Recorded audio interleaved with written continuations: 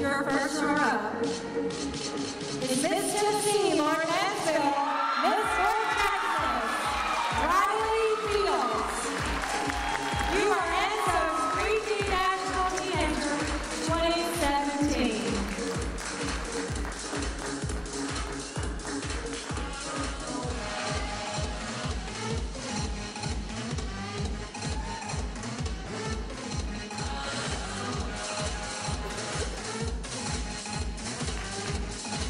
Congratulations, Riley.